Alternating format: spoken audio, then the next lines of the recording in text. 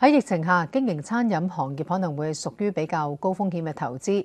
有大學生就揀以特許經營方式逆市創業。黃浩然同佢哋傾過。讀緊大學嘅阿 Ben 擔心就業市場前景，仲未畢業就同伙伴開咗自己嘅外賣店。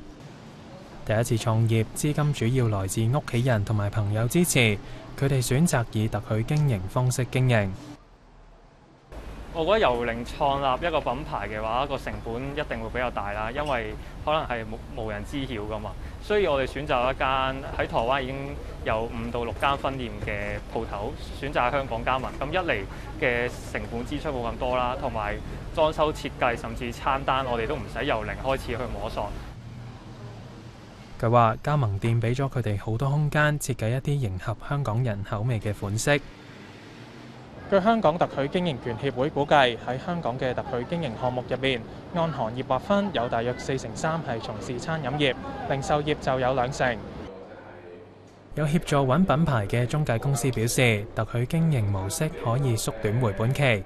佢哋係會將一啲本身會使多咗嘅錢啦，擺翻落去嗰個 marketing 係啦，收生或者收客戶方面咧，佢哋去經營，呢個係效率嘅提升。係啦，咁如果你話回本期嘅話，就會係大概縮短咗三個月至半年，都會係一個比較常見嘅時間表嚟嘅。中介話，除咗創業人士之外，亦都有本身有正職嘅投資者，俾特許經營較多元化嘅特性同埋回報率吸引，是加盟為額外投資選擇。